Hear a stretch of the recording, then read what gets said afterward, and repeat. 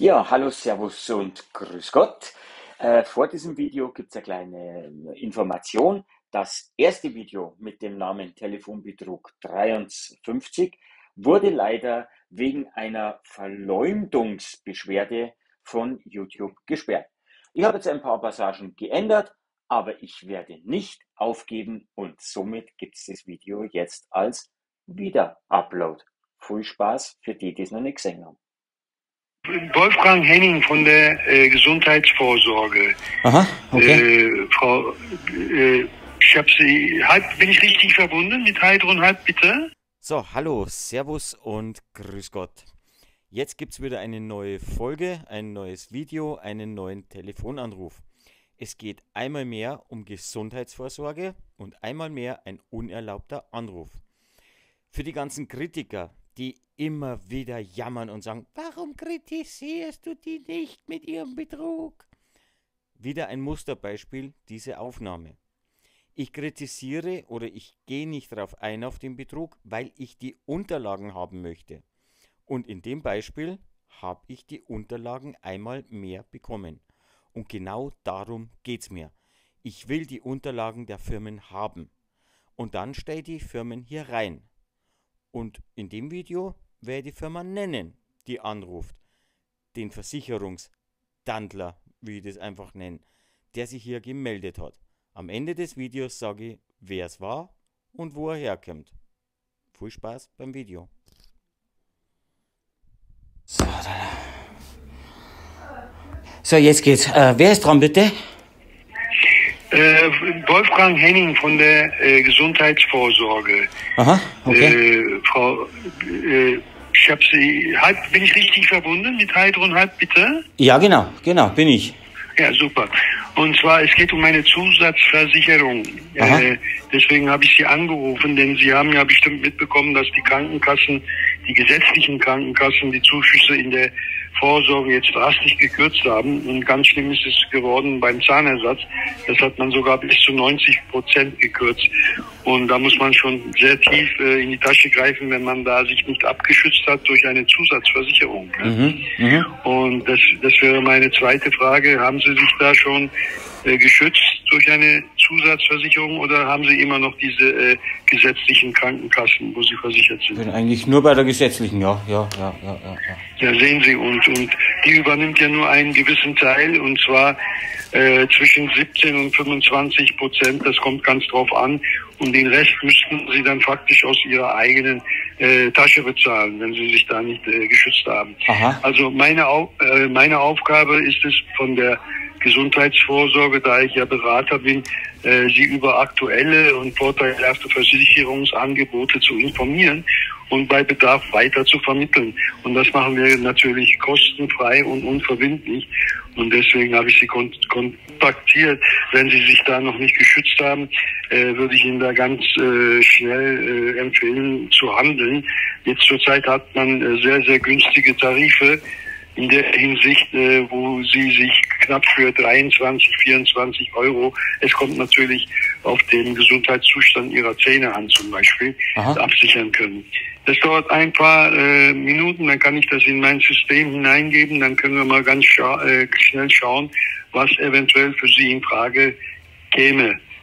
Können wir das mal machen, ganz kurz? Möchten Sie sich da informieren? Ja? Gut. Ja, haben, Sie haben Sie Zahnlücken? Ja, ja, ja. Wie, wie viele? Jetzt, jetzt habe ich es nicht verstanden gehabt, ob ich was habe, Zeit habe, ja. Also Zeit habe. Ja, Zahnlücken. Wie viele Lücken haben Sie? Ja. Zahnlücken. Was? Vier? Vier Stück? Ja. Okay. Wo keine Zähne sind, ne? Ja, genau. Alles klar. Und sind Sie zurzeit äh, aktuell angeraten, also in Behandlung oder so? Na, die habe ich einfach raus, rausgerissen und ja, da war ich dann nicht beim Zahnarzt. Ah, haben Sie das selber gemacht? Ja, die haben gewackelt und dann habe ich es raus. Ui. Okay. Dann haben wir hier äh, Paradontose haben Sie auch keine, ne? So mit Zahnfleischproblemen oder so. Nein, eigentlich keine, nicht. Ne? Nein, nein, nein, nein, nein. Okay, okay. Nur bei Rindfleisch. auch nicht. Herausnehmbarer Zahnersatz haben Sie auch keine. Äh, laufen, laufende Behandlung sind Sie auch nicht. Okay. Äh, kleinen Moment, dann gucke ich gerade mal. Und Ihr Geburtsdatum, könnte ich das auch mal haben, ganz kurz? Ja, natürlich. Das muss ich auch im System aha, aha. Haben Sie was zum Schreiben da? Ja, ja, habe ich, ja. ja. Okay. 29.02.78.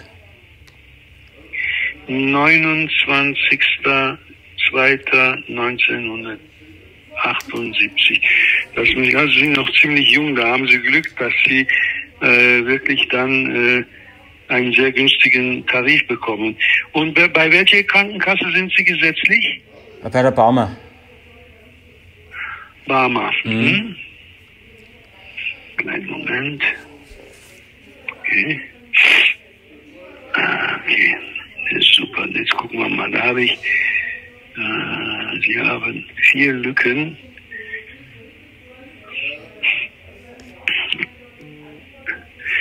Da ich ja ganz neu in der Branche bin. Frau Sturm, können wir den äh, äh, mit, vier, mit vier Zahnlücken die Barmer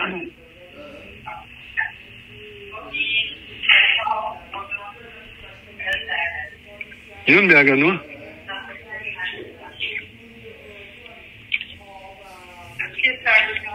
Ja, der ist 78. Ja. Äh, äh, ich gebe Ihnen mal die Frau Sturm, das ist unsere Abteilungsleiterin. Mhm, mh, Ich kann also Ihnen mehr. Kleinen Moment.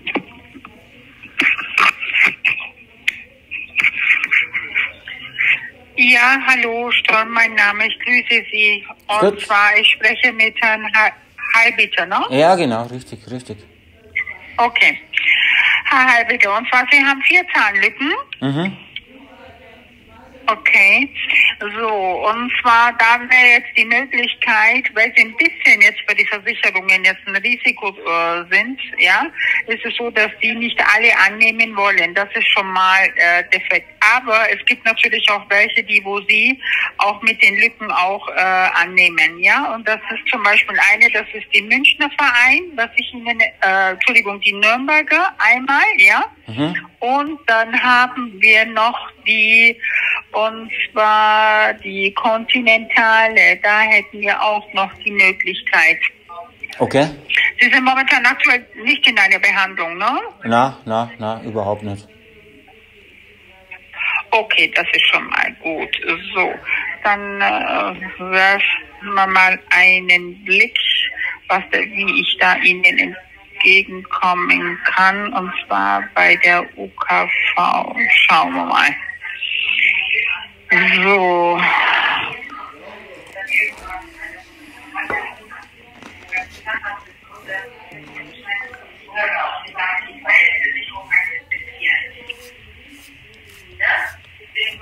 Neunzehnhundertacht, äh, neunzehnhundertachtundsiebzig.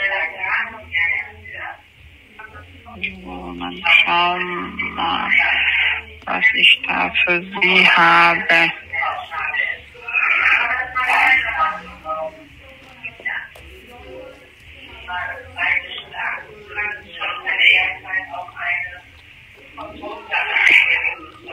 Haben Sie die Szene vor, auch im Ausland zu machen? Ganz egal wo. ja, ist alles egal wo, okay. Ja, ja. So, äh, die, die vierte Lücke ist die ganz hinten. Also Sie zählen Ihre Weisheitszähne, zählen Sie nicht mit, ne? Okay, ach so. Okay, ja, dann habe ich nur eine. Ganz vorne. Also die vier Weisheitszähne, also drei Weisheitszähne sind weg und ja. Und ganz vorne das fehlt ein Zahn. Sehr gut. Hm. Okay, das ist schon mal. Dann habe ich für Sie wirklich erfreuliche Nachrichten. Das ist sehr, sehr schön mal. Weil die Weisheitszähne, die gelten nämlich nicht als Lücke. Ja? Ach so. Okay. Also, mhm, dann mhm. ist das ist sogar.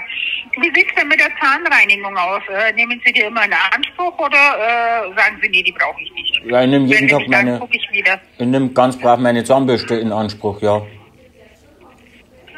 Okay, also um, äh, dann äh,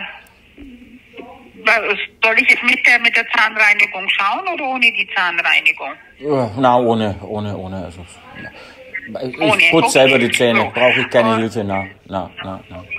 Ja, und bei der bei der Vorsorge, da ist es so, dass sie und zwar, äh, dass, dass das dann auch dann äh, auch inklusiv dabei ist. Was ist denn hier los? Wieso nimmt er mir das denn nicht an?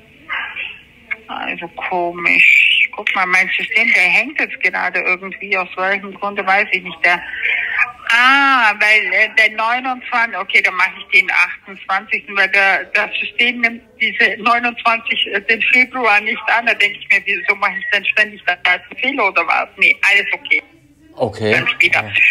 Also, Sie, Sie haben die Möglichkeit, sich entweder für 80 oder für 90 und für 100 Prozent abzusichern, ja? Aha. Und da Sie noch sehr jung sind, würde ich bei Zahnersatz wie Kronenbrücken, Inleisen, Implantaten, würde ich Ihnen empfehlen, auf jeden Fall 100 Prozent sich zu abzuschließen, ja? Der wäre der monatliche Beitrag und zwar für Sie nur 33,70 Euro. Das ist für 100 Prozent. Aha, Absicherung bei Zahnersatz wie Kronen, Brücken, Inlines, Implantaten. Ist das tragbar, die 33,70 für 100 Prozent? Ja, durchaus, ja, ja, ja, ja. Ja, ne?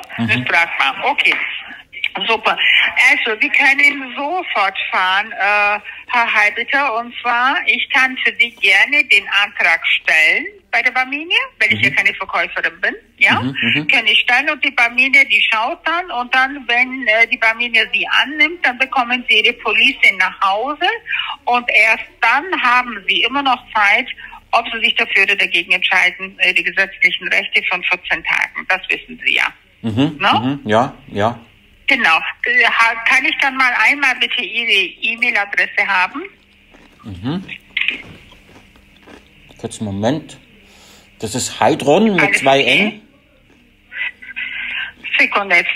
Ich, ich buchstabiere und Heidrun, ach ja genau, Heidrun, so wie der Name, so kennen wir. Mit zwei N, ja, mit zwei N. Genau, habe ich. Punkt, halb bitter, also halb und bitter. Und dann halb. Äh, aber mit einem B, ne? Nein, mit zwei B. Zwei N und zwei B. Mit zwei B? Okay, weil Sie bitte, okay, habe ich. Okay, dann habe ich das jetzt. Heidrun mit zwei N und dann kommt ein Punkt und dann ein Halb und Genau. dann ein Bitter, ne? Ja, genau, genau. Okay. Okay, dann haben wir das auch. So. Äh, wie heißen Sie mit dem Vornamen? Heidrun. Heidrun. Okay, dann habe ich das auch. Okay, dann stimmt das auch. So, äh, wenn Sie sich denn für die Versicherung entscheiden sollten, wann sollte die Versicherung in Kraft treten? Möchten Sie die zum April haben oder zum Mai oder Ja, zum zum- ersten oder zum fünften? Machen wir zum April. Zum, also soll ich den ersten April eintragen? Dann, Ja, genau, genau, genau. Okay, dann machen wir es gleich nach Ostern, können Sie gleich sich, wenn Sie sich dann dafür entscheiden, gleich bedienen lassen. Genau. So, Mhm. Zahlungsweise ist okay. Okay, also wie gesagt, der monatliche Beitrag 33,70 dann, ne? Mhm, ja. Okay, so 33,70. Okay, ich hatte gerade ein Funkloch. Können Sie mich hören? Ja, ich höre Sie, ja. Ja, ja, ja, ja.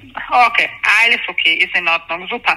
So, dann müsste ich nochmal die Bonität abprüfen und wenn Sie sich dafür entscheiden, und zwar äh, halb, bitte, von welchem Konto sollte das abgebucht äh, werden?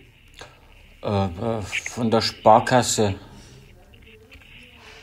Von der Sparkasse. Okay, könnte ich bitte da die 20-stellige DE-Nummer nochmal haben, dann trage ich das auch ein. Ja, ist die E DE75. 3, 75, ja. 3705 3705 habe 0, ich. 0198 0108. 98. Entschuldigung. Ähm, 0198 98, okay. 1935 Ja, okay.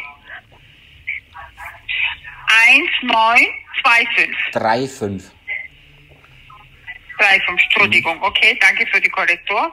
2747 Habe ich. und die 77. Okay. Kann hier sein, dass ich irgendwie, ich, ich wiederhole, können Sie mich bitte korrigieren? Das ist einmal die 75, Hm? dann die 370, Ah, einmal null. einmal, ja, da, das meinte ich, da habe ich mich verhört. Okay, müsste da stimmen. Da äh, habe ich mich. So, eine Sekunde, dann, dann lese ich Ihnen das nochmal vor, da muss ich mich irgendwie hier vertippt haben, weil ich da wieder komischerweise einen Funkloch hatte. So, also ich wiederhole, das ist einmal die 7, 5, 3, 9, 8. Na, nein, nein, das ist ein Nuller zu viel. Das ist ein. Nuller zu viel. 0198. Oh. 0, 1, ah, okay, Sekunde. Ja, ich weiß gar nicht, wie ich auf die Nuller kam. Dann das und dann 7, 4, 7, 7, 7. Mhm. Ja. Guck mal, wo die Richtung hingeht. Die Richtung geht Sparkasse Köln-Bonn. Die Bonität sieht super aus. Recht herzlichen Dank fürs Vertrauen. Super. Herr Halbete, dann mache ich jetzt ganz schnell die Zusammenfassung und schicke Ihnen das jetzt raus, damit Sie auch das dann auch bekommen. Sobald ich den Antrag gestellt habe, schicke ich Ihnen das auch auf Ihre E-Mail-Adresse, damit Sie das auch bekommen. Haben Sie mir auch eine Handynummer? Äh, na, nur die Festnetz. Nur die Festnetznummer. Okay, dann schicke ich es auf Ihr E-Mail, ja? Ja, genau. genau. Okay, dann mache ich jetzt, dann mache ich jetzt die Zusammenfassung, da sind wir gleich fertig. Eins, zwei, drei und ich leg los. Ich spreche mit Herrn Heidrun Heilbitter. Ich fasse jetzt die wichtigsten Eckpunkten zusammen und zeichne das Gespräch auf, damit Sie auch nur noch das erhalten, das, was wir mit Ihnen zusammen besprochen haben. Das ist ja für Sie in Ordnung, ja? Ja, ist in Ordnung. Wunderbar. Bitte nennen Sie mir nochmal selber Ihren Vor- und Nachnamen. Ja, Heidrun, halbbitter. Vielen Dank. Herr Halbbitter, Sie wohnen in der Riederstraße 16 und zwar in Hersching am Ammersee, ne? Mit Ja, der. Postleitzahl, das ist einmal die 8, 82211. Ah ja, Sie genau. sind geboren am 29. Februar 1978 und sind aktuell bei der gesetzlichen Krankenkasse und zwar, äh, wo waren Sie nochmal ange bei der Barmer? Ja, sind Sie genau. angemeldet, Mhm. ja? Mhm, mhm. Genau. Okay, dann haben wir das jetzt auch. Super. Herr Halbeder, wir haben uns jetzt für den folgenden, besser gesagt, Sie haben sich jetzt für den folgenden Tarif bei der Gesellschaft Barminia Zahnzusatzversicherung entschieden mit dem Tarif einmal, die lautet Mehrzahn 100 und der monatliche Beitrag, der beträgt 33,70 Euro und die Versicherung, die würde dann und zwar zum 1. April in Kraft treten. Als Bankverbindung hatten Sie uns angegeben, das ist die Kreissparkasse in Köln. Bonn. Könnte ich bitte von Ihnen die letzten drei Ziffern nochmal von Ihrer Bankverbindung von Ihnen haben? Das ist dreimal die sieben. Vielen Dank auch dafür. Und Sie sind auch selber der Kontoinhaber, ja? Mhm, mhm. Ja. Okay. So. Jetzt komme ich zu den Gesundheitsfragen, da sind wir nämlich auch gleich fertig. Fehlen Ihnen Zähne außer der Weisheitszähne, die wohl noch nicht ersetzt sind? Sie haben mir mitgeteilt, dass Sie eine Zahnlücke haben. Das ist auch richtig, ja? Ja, richtig. Richtig. Genau, super wunderbar. Und zwar erfolgt zurzeit eine Zahnersatzbehandlung, eine Wurzelbehandlung wie Parodontose, Parodontitis. Ist sie angeraten oder beabsichtigt? Sie sind ja momentan ja nicht in einer Behandlung, das stimmt ja auch, ja? Stimmt, ja, ja. Okay, wunderbar, super. Und zwar, Herr Halbbitter, Sie haben innerhalb von zwei Wochen Aberhalt der Unterlagen das Recht, diesen Vertrag schriftlich per Brief, per Fax oder per E-Mail zu widerrufen, ja? Haben wir damit aus Ihrer Sicht alles festgehalten, das, was wir vorher besprochen haben? Herr Halbbitter, das haben wir ja jetzt, ne? Ja, genau. Ja, ja, ja. Super, wunderbar. Ich bedanke mich für die Beauftragung. Heute haben wir den 21. März 2024, ganz genau 13.10 Uhr. Pia Sturm mein Name und ich beende nun mit hier die Aufnahme. Zuerst mal alles Gute nachträglich wünsche ich Ihnen zum Geburtstag. Äh, danke alle vier Jahre 29 Euro, äh, 29. Ne? Genau. So. Okay. So, ich hoffe, Sie haben auch groß gefeiert. Na, na, es geht so. Geht so. Machen wir nicht, obwohl es alle vier Jahre kommt. Okay, ich würde Genau. an Ihrer Stelle feiern. Na, vielleicht machen Sie es ja nächstes Jahr. Genau. vielleicht haben Sie es ja nächstes, äh, alle, vier, Alle vier alle Jahre. vierte Jahr dann, wenn Genau. es kommt. Genau, so. Okay, super. So, dann werde ich das jetzt Ihnen zusenden und dann auf Ihre E-Mail jetzt dann schicken, den Mhm. Antrag. Mhm. Nur damit Sie auch im Hintergrund wissen, es ist momentan noch gleichzeitig eine Aktion und zwar von der Bayerischen Beamtenkrankenkasse und zwar für Vorschutz, ähm, und zwar Versicherung, für Voruntersuchungen, für Brillenuntersuchungen etc. und dass der monatliche Beitrag nur durch die Osteraktion für 17,45. Sind Sie Brillenträger? Na, na, na, na. Aber äh, Nein. schützt, schützt Okay. mir das dann vor Beamten, die Versicherung? Oder vor was schützt mir denn das? Also wenn es einen Schutz vor Beamten gibt, dann nehmen sofort. Nein, das ist, das ist, das ist die äh, Bayerische Beamtenkrankenkasse macht das. Von Ach so, der okay. ist es momentan Mhm, eine Aktion, da wir ja keine Verkäufer sind, bekommen wir ja diese Aktionennummer. Mhm. Das, äh, äh, das ist eine Krankenvorsorgeuntersuchungen und zwar für Früherkennungen von Krankheiten. Da sind natürlich auch Impfungen dabei, da sind auch und zwar äh, Brillenversicherung ist dabei, wenn Sie eine Brille benötigen oder für die Zukunft sich halt absichern möchten. Kleine OPs, ambulante OPs sind inklusiv dann dabei, ja. Und äh, Impfungen sind dann halt dabei, Krebsvorsorgen, Untersuchungen sind natürlich auch dann dabei, was halt sehr, sehr teuer ist, ne? weil man selber finanziell äh, bezahlen muss, weil das ja die gesetzlichen ja nicht mehr übernehmen aus diesem Grunde. Mhm. Und äh, da ist jetzt die Aktion, und da ist der monatliche Beitrag 17,45 Euro, inklusive der Brille auch dabei. Und äh, wenn sowas irgendwas benötigen sollten, in den Unterlagen ist unsere äh, Kontaktdaten sowie auch Adresse. Sie können mich auch dann gerne per E-Mail auch anschreiben. Benötigen momentan sowas nicht, oder? Na, na, na, wie gesagt, Schutz vor Beamten ja, aber, aber keine Beamtenversicherung. Na, na, na. Okay, ist in Ordnung. Da bedanke ich mich recht herzlich für das nette Gespräch und für das Vertrauen vor allem. Falls wir voneinander nichts hören, dann wünsche ich Ihnen jetzt schon mal ein schönes Wochenende und frohe Ostern, ja? Okay, klar, danke. Ja, bleiben Sie gesund. Bitte Gut, an. danke, wieder an. Ja, also das war der Anruf. Ich sage jetzt mal Folgendes dazu. Ich habe ja grundsätzlich nichts gegen Werbeanrufe. Aber ich habe was dagegen, wenn man betrogen wird. Und das fängt ja bei dem Anruf schon an, dass sich der Mann da am Anfang äh, nicht einmal mit der richtigen Firma nennt. Also er spricht ja von der allgemeinen Gesundheitsvorsorge oder von irgendeinem Blödsinn wieder. Der sollte einfach sagen, von welchem Versicherungstandler das er ist und nicht irgendeine Story erzählen. Und ich sag's jetzt ganz ehrlich, in diesem Fall war es die Piep, hier musste ich zensieren. nachher der Vertrag gekommen ist. Und machen wir mal weiter. Die gute Dame, die nachher da spricht, das ist ja wohl der Hammer. Irgendwann sagt sie dann einmal unter dem Gespräch, ja, sie sind ja keine Verkäufer. Ja, was sind sie denn dann? Sie sind ganz dreckige Versicherungstandler, die auch nur lügen. Weil sie sind Verkäufer und sie kriegen eine Provision davon. Äh, Dann kommt der nächste Punkt. Es kommt ja diese Abfrage mit meiner IBAN-Nummer. Und da sagt der Sino ganz frech, das dient zur Abfrage der Bonität. Ein Scheißdreck tut's, wenn ich das so sagen darf. Weil die prüft ja überhaupt keine Bonität. Die prüft nur, ob es die IBAN-Nummer gibt. Weil die Bonität prüft sie nicht. Weil in dem Moment hätte sie mich gemerkt, dass der Name und die IBAN-Nummer überhaupt nicht mit übereinstimmen. Also, ich habe sowas von dick, diese Anrufe von diesen, ja, ich sag's ganz ehrlich, Verbrechern. Und ähm, ja, man sieht jetzt bei den ganzen Kritiker, die immer da meine Videos kritisieren, weil ich die bösen, bösen Betrüger nicht mit ihrem Betrug konfrontiere, dann hätte ich die Unterlagen nicht bekommen.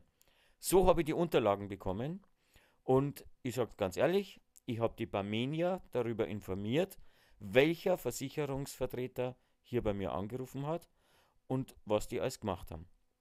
Des Weiteren habe ich natürlich auch eine Beschwerde geschrieben an die Bundesnetzagentur über die Nummer, die mich angerufen hat und natürlich auch über die We und ich habe auch dieser Moment AG eine E-Mail geschrieben und habe gebeten, ich möchte Auskunft haben, woher die meine Daten haben.